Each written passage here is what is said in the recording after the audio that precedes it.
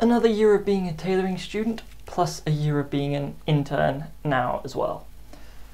I've sorted everything into three new categories Essentials, what you should get, and what you might like. Essentials is largely unchanged because I had already made it as minimal as possible, just the lowest possible barrier of entry to get into tailoring. Good to have are tools that aren't essential, but are useful. They'll allow you to properly make tailored stuff and things you ought to keep in the back pocket that you're going to make. We can get by without some of it or without alternatives that I'll lay out. You might like are bits that you don't need, but can come in handy and you can decide for yourself whether you want to use them or not. I'll take this opportunity to say that this is my experience and a small amount of asking what other tailors use and learning from other tailors. And I want to also say at this point that good equipment won't make a bad tailor good, it will however make a good tailor better.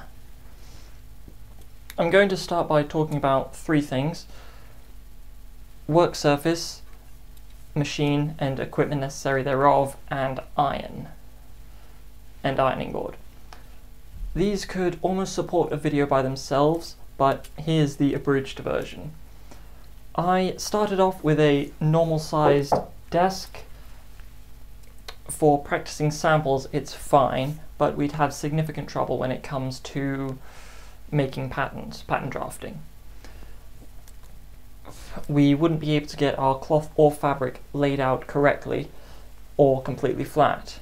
And though I've known people just to use their floor or kitchen table if you're privileged enough for that. A good approaching minimum size is uh, about 90 by 150 centimeters, like mine. I think a close to minimum would be around 70 by 120 centimeters. My personal one right now is plywood that I sanded and varnished, and I put it on my bed when I want to work. A medium density fiber board, board a medium density fiberboard board is better for ironing because it's more porous. It also creates greater fric friction in the fabric. Putting a mat or cover over either of them makes them better for ironing, but impedes when sewing on the table. It's not so good for pattern drafting either, so I think a good all-round option is an MDF board, but it won't be as light as a 9mm ply like I have. If you can have a sewing table and an ironing board, then I think that's neat. If I weren't making videos, that would probably be my choice. I have a sewing machine. It's just the one my mum had, so I'm in no position to talk about how and where you should buy sewing machines. Industrial wise, everyone will say that a Jack F4 industrial sewing machine is a good starter, and I'm probably going to get one at my earliest convenience. Equipment necessary thereof includes bobbins and bobbin cases and basic maintenance equipment, basically just oil and possibly a brush.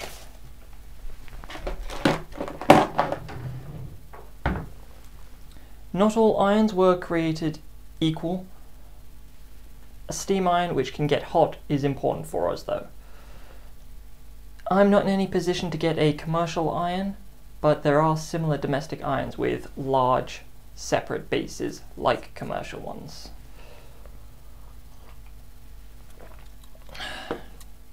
First and foremost in essential equipment is a thimble.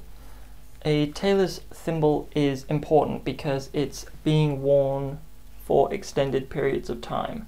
So it's open topped so that it's more breathable. With normal open top thimbles like these ones, you had definitely better try them on before buying them. I definitely don't recommend buying them online unless you get an adjustable one, which I kind of don't recommend to be honest, not anymore. A proper, thim a proper thimble is important to use because you need to be able to move at a certain pace, otherwise you're going to get bored and give up. but also pain. Using a needle has its own method used by tailors too, but that's in another video. The long and short of it is that if you want to be a tailor, you need to be able to use the equipment and use it properly. Although it seems like a lot of people, Uh-huh. students, uh-huh, are deciding to get by without for the first year, I also I'm told anyway, but I stitch faster than everybody else, it seems, I think. Thread, you won't get very far without thread. Cotton or polyester, they are largely interchangeable, but polyester is empirically better. It is stronger and cheaper, I think. I think that it's best to buy three 300 meter reels of something just like black that you can use anywhere for hand sewing or machining. I think reels like Coats or Tre Cerchi are the best. It's inexpensive and yeah, they are useful for machining and hand stitching. And I know it's odd to count thread as a piece of equipment, but I think it'd be worse if I left it out. Basting thread, on the other hand, I definitely count that as a piece of equipment. We very often use it to temporarily hold together two or more bits of cloth before hand sewing or machining it together. So it needs to be able to tear and pull out easily. If you want to dip your toe into tailoring, then a small reel is good. And it's a low upfront cost that'll last you a while. Beeswax is not a necessity or a luxury, it is an essential in my opinion. It prevents thread from twisting and coiling, and apparently makes it stronger. Try using beeswax once and then try without and, you know, see what you think. Personally, it just, yeah, not going, I always wax my hand sewing thread except for my basting thread. Needles, we need needles, a multi-pack of just betweens between the sizes of, of sizes 3 to 9 is good, 3s being large and 9s being smaller. These days I find myself using just size 7s for everything and unless you have arthritis, I don't think you'll ever need more than size 3s, larger than size 3s. I'm sure you can use whatever, I don't know the significance of betweens, that's just what I was told. If you can sew with it, I'm sure that's fine. The general philosophy is to always try to use the smallest needle for the job. However, don't use However, I've been told to avoid using a needle that's thinner than the thread, otherwise every time you draw it through, the cloth is going to be dragging back on the thread more than it would be otherwise. As you use the thread, it will wear down more and more quickly and it'll break, which is why I stopped using nines for my own personal finishing. We need simple all-round scissors. The scissors I recommend are on the high-end side, about £20. These aren't it. You just need scissors that can cut out paper and basically anything else that isn't fabric. Although if they can cut through fabric, then I suppose that's advantageous. Right now, I'm just using my kitchen scissors because I lost my normal ones. With regard to chalk, you'll need to decide for yourself whether you want squares or triangles. Hancock's chalk is what I'd recommend, I just think it's the best. Yellow is used for white fabrics and cloths, and blue and lightish red is used to determine asymmetries. But if you're using lining paper like I do, rather than brown pattern card, then maybe you'll need to use coloured chalk on those anyway. So you could definitely use blue or lightish red anywhere else. We need any kind of ruler. I think a quilting ruler, being a transparent ruler with grids on it, is good, but a Morplan Pattern Master is what I've had since eh, day one, never mind. and what I'd recommend. That said, if it's not possible, then a 30 centimeter just normal quilting or regular ruler will do fine. If you can get a pattern master, then that makes any other kind of ruler, in my opinion, just a necessity, just an added extra, I think.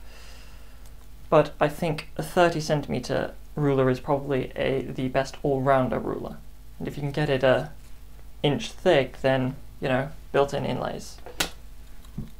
Stationery, you won't get very far if you can't draw patterns.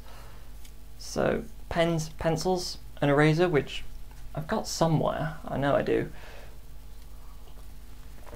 Masking tape also especially necessary if you have if you're using lining paper from B&Q instead of normal pattern card because you'll need to tape them together to draft a jacket. Masking tape you can draw over and remove mostly safely if needs be. A glue stick can also come in handy with patterns. Having done a fitting you can increase or I guess decrease the size of patterns without using so much pat without having to draft a whole new pattern. Notebooks and sketchbooks are more helpful than I'd have first expected. I don't get good ideas very often, so when I do, I can just sketch them down and execute them later. Also, I recommend these Penco pencils, they're quite nice I think. Slightly off topic, but related, you might like a Sharpie. Label all your stuff, especially if you go to school with it, like me, or you work in this industry. Apparently it takes too much effort to go to lost property or even return the stuff you borrow, I'm told. To start off what is good to have, I suggest a container of some sort. Now, technically, to be fair, a container is more of an essential. When you have some equipment, I suggest you find a container that comfortably fits it. Find I didn't buy my basket, I just... It was just a convenient size, so I asked for it and fits comfortably as you might want to add to your kit later, but you might also be streamlining as you find things and decide whether they work for you or not. It doesn't even have to be a box, I mean, could be. I like using tiered storage trolleys and those like IKEA storage boxes, the SKUBBs I think. I'll renege on telling you how much you should be spending on fabric scissors but obviously the more you spend in most cases, the better pair of scissors you'll get, in most cases. I think we can find fabric scissors for as little as £20 around. What's special about and important to note about fabric scissors is that the angle on the blade is much more steep than regular scissors. So by extension, they are much sharper, but also more delicate which is why you also hear about getting scissors sharpened. It's sentimental, it's just sentimentality and being cost efficient. This is why you should also only use them on fabric and not paper or anything like else like that, which is why all-purpose scissors are an essential, while fabric scissors I don't think are as essential. In short, they aren't essential, but if you have some extra money to invest in your tailoring equipment, then fabric scissors are a pretty good place. I bought my I bought Kai 7280 scissors from Mac and Wallis, the same brand as the Japanese scissors I recommend that I have in Essentials. But that is something for you to decide on. Like I said, I mostly only use size 7, size 7 needles now, so I think getting a... So once you've determined your preferred size, you could get a pack of 25 of the needles you like. I'd assume they dull, and in my experience, they bend over time. So having 25 of one size is just a decent long-term strategy. Plus, I keep losing them. Like I said, I'm usually always using sevens, except when I'm working and I'm given nines to finish with. In a pinch, you could use needles as pins, which is why they aren't an essential. I got a pack, pack of black needles because I thought they looked cool, but I'm told that the but it says that the oxidized finish on them can rub off on light materials, but that hasn't happened to me yet. I'm told they are pretty good and sharp compared to some other needles, so that's probably good. If you know you want to do a lot of tailoring and this isn't just a fad for you, then I wholeheartedly suggest you get a big reel of basting thread. It is just the economical option. A reel might literally last for years. This is maybe a year and a half now, I'm not sure. But it's five times the price as the smaller reels, but you literally get 25 times the amount of thread. Now these ones I can't seem to find anymore, but you know, basting thread, basting threads, basting thread. You should get a long ruler at some point. These were just gifted to me and I found this one at a this one at a market. It'll help with measuring, pattern drafting and lay planning and I think that's about it. We also need a square. We need, when we draft patterns, it is very important that we can make long right angle, long right angled lines. My Morplan Pattern Master does this, is very helpful with this. But there are also things like Fairgate pattern rulers and other plastic and other nice wooden rulers that you can find to measure right angles as well. With regard to tape measures, definitely get one with a uh, like a 10 centimeter tab on the end. It'll help you out when measuring yourself and other people. A sleeve board is especially useful when pressing open seams on sleeves and trousers and pressing over curved seams. I bought mine from William Gee. It's nice and collapsible for £17. I would have preferred a nice wooden one, but at this time in my life, I realistically need a light and collapsible one. Though, I think you may be able to find one in Wilko for a pound fifty that's comparable. I couldn't though. If you need a an alternative, then I used to use my plank of wood. This is fairly new. An edge board is practically the same thing as a sleeve board, but it's much thinner and usually pointed at one end so that you can open seams basically. It's you could easily use a pine plank again, though it's a bit more fiddly than that because it doesn't stand up by itself very well. A tailor's ham or tailor's cushion is also very important.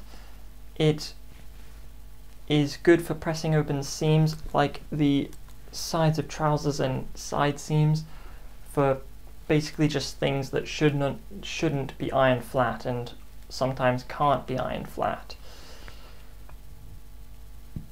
And they're used more often in final ironings in the at the final ironing stage of making. When we're cutting fabric out on our board, we need to make sure that the patterns aren't moving around on the cloth. So we use weights to keep everything where it's supposed to be, otherwise we're just wasting the effort we put into making the pattern because it's changing it, obviously. There are alternatives, like you could use basically anything with weight. I like like whiskey glasses and bars of soap having something with a good weight to keep your pattern flat just on hand will be very useful. You should really hang the patterns that you make to keep them flat and safe. It's much more difficult to use patterns when patterns when they're trying to roll and coil while you're trying to trace them out onto cloth. Hooks are inexpensive, but you can jerry rig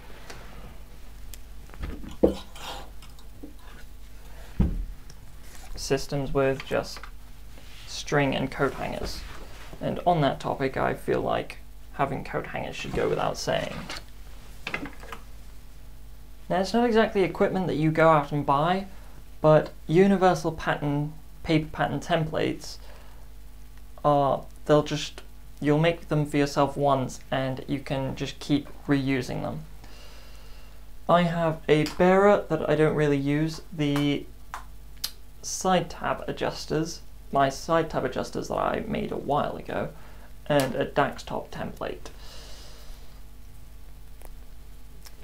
I don't use a jacket collar template, but it is but I think most people do use a universal one. We definitely should use silk to finish our work. It's just the it's just the standard thing to use and it gives our stuff a greater chance of longevity. To begin with, however, we don't necessarily need to go out and buy silk to finish for our samples and practice runs. We can, but it's more important that the stitching is correct and neat and in the correct places. When we do start making things, we should we should finish it with silk. Most tailor shops will have Gutermann pre-waxed lengths of silk, which in either dark grey or black. They have these exclusive they have these colours exclusively because they are the most versatile, and white as well. There are many other colours available though, but I don't recommend this for us, like practitioners. Unless we're opening a shop, or you're absolutely minted. But it is economical. There is also NBT Furrier Waxed Skein. It's synthetic silk that seems to be gaining popularity.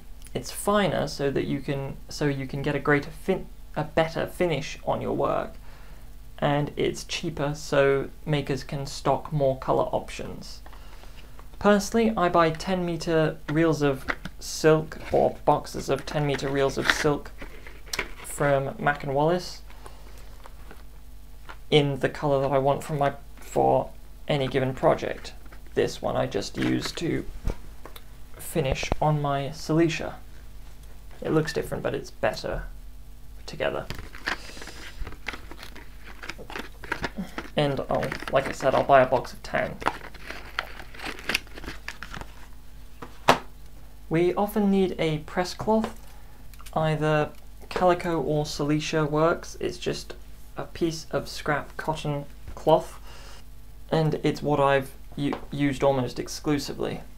Having a designated piece of clean cloth to put between your iron and fabric will be useful when we get to fine, delicate, or fabrics that'll shine when ironed.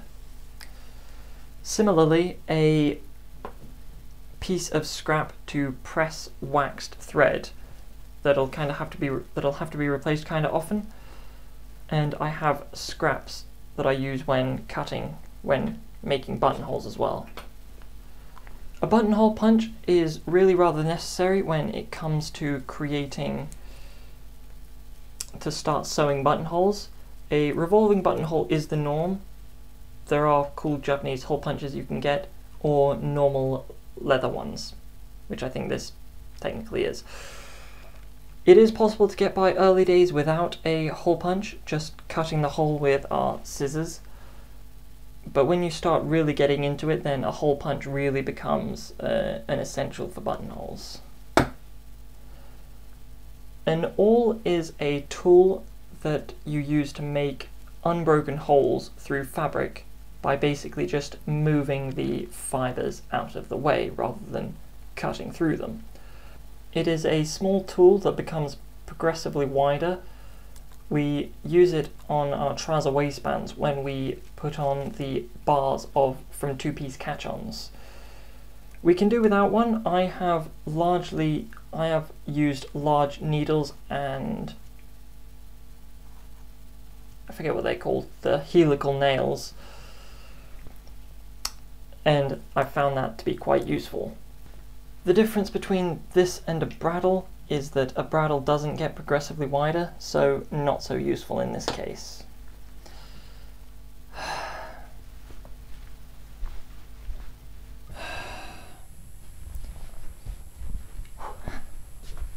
Oh, as you start making things for yourself and others, you might decide to get colors of thread the same color as the fabric you're working with. So it isn't something you kind of go out and buy.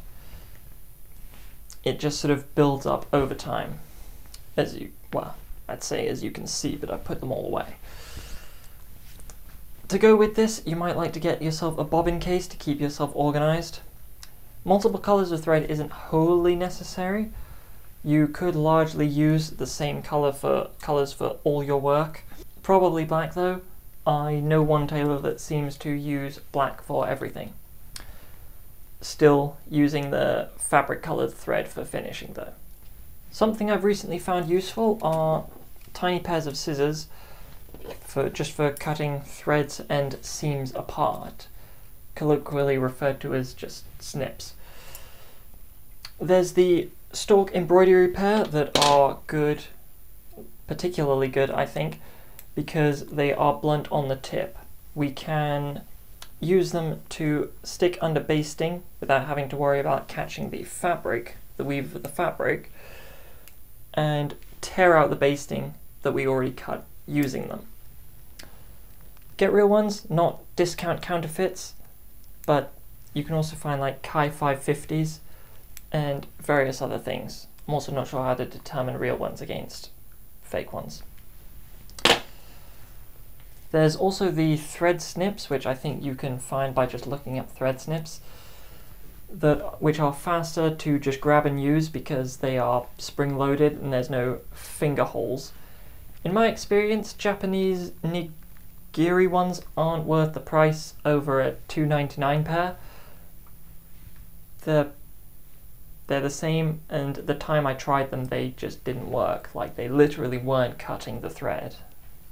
If you've seen my updated trouser waistband video, you've likely seen how we can use tweezers to make belt loops, but they can also be used for other tweezery things like pulling out mark stitches and difficult bits of basting. There's a couple of types and they both have more specific uses, but as illustrated in the aforementioned video, we can use either, either of them for most things. I think a loop puller is used largely in the production industry, and we but we can use it to make belt loops. It may be the fastest way to make belt loops making a long tube and pulling it through rather than seven or eight smaller tubes with our tweezers. Clapper, a clapper is literally a block of wood again. They are used as a post iron press. It'll absorb any moisture from the fabric which hasn't evaporated and help to cool the cloth more quickly, setting creases and seams more fully and quickly. Mine is a scrap from a pine plank. It's something porous, so it can easily absorb heat and moisture. Working as an intern, I've picked apart a, well, I've lost count of the number of trousers, but I, but I think an unpicker is the best and or fastest way of doing it. I don't know, it's always in the my first sewing kit kind of stuff, isn't it? However, I might mention that where I've been picking apart trousers, the trouser maker I intern with has barred the use of unpickers it's easy to slip and tear ass through cloth when using an unpicker. I haven't done it, but I get the impression that somebody did. Now, a multi-tool, it's a multi-tool. I have one, so I put it in my with my sewing kit. You know, it's useful when it's useful. Like I said, blue and lightish red chalk can come in handy when you're dealing with people who have asymmetries. It's not exactly useful, it's not exactly where I am yet, but it'll come in useful later. And like I said again, good if you're using white card rather than brown card and just white chalk wouldn't show up on it. And also, like I said, yellow chalk is good for white or very light materials, light coloured materials. Hancock's has its own good chalk pencils. They are good for more precise curved lines if you want to draw on the D-tacks before sewing them on either side of your trouser pockets, hip pockets, or for making buttonholes to hole punch, or for poking through the buttonholes that you've hole punched so that you know where the button needs to go, like on button flies. Wax chalk is objectively better than regular ass chalk. It sharpens more easily, it retains its edge more easily, it's sharper and can be easily ironed out when we're done with it. It's not quite a substitute for normal chalk though, because it irons out easily.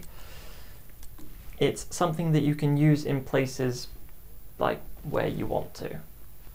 Tailor's soap is something that some tailors swear by and that others refuse to use. I, pra it's practically short-term fusing. You'll see me use it on waistbands and it can be good for holding open seams. It's something you might look want to look into as you start making more and more.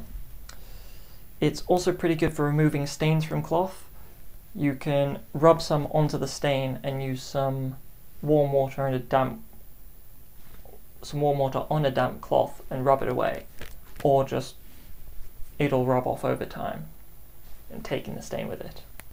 Ziploc bags are super convenient for keeping buttons and other small things. I also use it to keep my wax only as dirty as it currently is, although it came in the thing, so I just keep using it.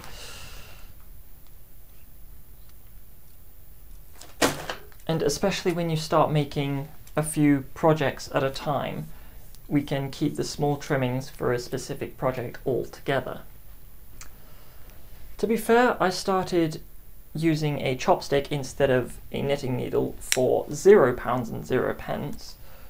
So I use it to turn out things like side tabs Plus, we can use the tip tips to massage out uh, corners and such like. I wouldn't have gotten a knitting needle, it's too expensive to be bothered. But they are useful, so if money is no object. But if it is, and a valuable object at that, any stick with a smooth rounded point will do. A spray bottle is useful, more specifically when we're using commercial irons because domestic irons have that function built in. We can use it to press out and press in harder creases in fabric, or certain fabrics, and definitely not spraying on linings. Working, I have a pin magnet to hold my pins. I pull them off just to hold things together that I'm about to machine. Then when I'm at the machine, I take them out and put them, stick them into a pin cushion that is on the machine. It sounds kind of backwards saying out loud, but it is very useful. With regard to pin cushions, I have my Kiwi. I use it in my preserve, proverbial studio workshop so that I can keep save loaded needles for later rather than just discarding and reloading. I mean, I know whether we want a pincushion, I feel like I think I'm just over explaining it. Being high quality and weighted is something useful that I never would have thought about. You can just pull needles out without picking up the entire pincushion and having to use two hands. But also having a pincushion means that I'm not keeping pins loaded in my reel of basting thread. We can use a thing like a something like a kitchen paper towel dispenser for our basting thread. I've never seen one, just in one of the videos that the that university gave me instead of teaching me, but it looks useful. If you have one in our workspace or main workspace, then it's simple to have and you can just pull on your big reel of basting thread and it'll unspin when you want some thread. We'd use a notch cutter to for our patterns once we've finished cutting them out. A tool to simply cut notches into our pattern to make them easier to chalk out. A cloth brush will straighten out fibres when you're done sewing a seam, hand sewing a seam, and it'll likely remove any chalk marks. Though we can use some of the same cloth as what we've chalked on to rub off the chalk, and that's also very useful. We can also use a toothbrush for more precise cut, for more precise brushing. Kind of in the same way that we have a cloth brush, if we have a cloth work surface, not like my one, it'll get threads and lint and stuff stuck to it. So we can use a cloth brush or a lint roller to clean it so that it doesn't get onto another pair of trousers, which is especially risk, especially likely to happen with a light pair of trousers. Something we need is a chalk sharpener. I mean, need is a strong word because we can definitely use alternatives like our scissors or a metal ruler. You can likely go your entire tailoring career without an actual dedicated sharpener. What's important is more how you sharpen than what you sharpen with. Like, for example, some sharpeners, quite expensive ones I think, can give you the ideal angle for sharpening if you use it correctly. Pinking shears inhibit cloth from fraying too badly. Some professionals use them for cutting parts of the cloth they're using on the inlays, especially on trousers if we don't have an overlocker, although only the inlay. We have mark stitches to follow on the inlay, but it'd be difficult to follow a pinked seam allowance. You might use them across the bottom of your trouser lining instead of using the selvage, or pink the hem instead of overlocking. Like using other colours of chalk, we can use alternative colours of basting thread to mark stitch asymmetries in garments. We don't necessarily need to use alternative colours, but it can make it clearer and easier to see. Also, also if you wanted to use just a different colour anyway, it'll look more interesting than white and be easier to see on lighter coloured materials. I think I used my tracing wheel in my jacket drafting video, my new one, and my waistcoat video. I don't know, I just feel kind of strange about tracing wheels. This is just a list to show you what you can get and what it's vaguely used for. A short 15 to 30 centimeter ruler is good if you don't have one yet. It's more mobile than both a pattern master, if you already have one of those, and a long ruler. It simply it just simplifies smaller tasks for you. Plus, if you can find one that's an inch wide, like I said, it'll help you out when lay planning. Instant inlay measurement, isn't it? I don't know what a long blunt needle in the form of a bradawl is useful for, but it's listed as a piece of equipment. I expect somewhat like an awl alternative, if you like. Usually I'd be well on board for French curves, but not in this context. In the context of tailoring, French curves are used to draw different specific curves when pattern drafting. But personally, I can get by drawing curves freehand and with my pattern master. Firstly, I can fit almost my entire kit into my Fortnum & Mason basket that I took from my dad when he was given it as a hamper. All, all that I don't put in it is my long ruler and pattern master. It fits what I need, plus my bag of linen and fusing and bits. And I usually keep that on my shelf. I also have my daily carry kit that I take with me when I go to university. So that contains my thimble, needles and pins,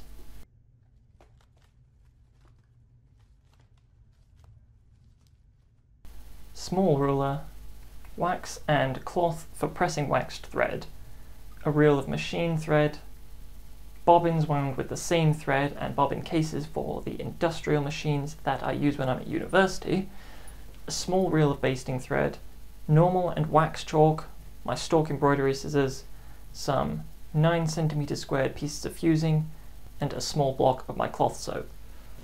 I keep these in a small bag and separately in my laptop bag or whichever bag I happen to be carrying that day, I keep my fabric scissors, my all-purpose scissors if I had them, these I just keep in my kitchen, foldable yardstick, pattern master, and my stationery, which I already put away.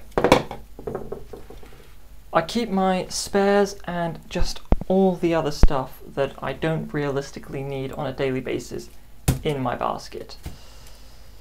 So, for example, I have spare chalk, spare thimbles, needles, pins, and any leftovers that I just don't really need. I have a bag containing the things that are usually more helpful to me, like my chopstick in lieu of a knitting needle, hole punch, clapper, I guess, bradawl, coloured basting thread, although that's not really useful, tape measure, and masking tape, etc. That goes in the bag. Things that are less useful to me on a daily basis, like spare tape measure, spare wax, uh, tracing wheel and bradawl, etc plus some antique things. I've got my various silk threads and various gimps. Things, basically a bag of trimmings in which are just smaller Ziploc bags with containing like items, I guess, and just and another bag that contains just sort of bits of scrap from projects that I might be able to reuse in future projects.